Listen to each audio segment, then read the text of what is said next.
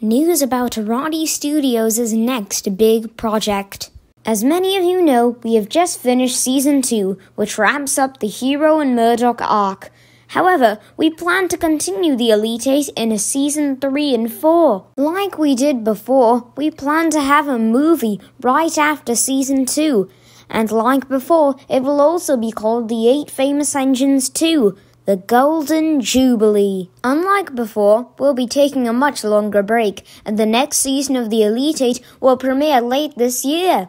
But that doesn't mean we won't be supplying you guys with lots of videos. We may even start releasing episodes from an all new show. Speaking of new, we might be releasing more videos like the importance of being little depending on its reaction. That's it for now. See you next time.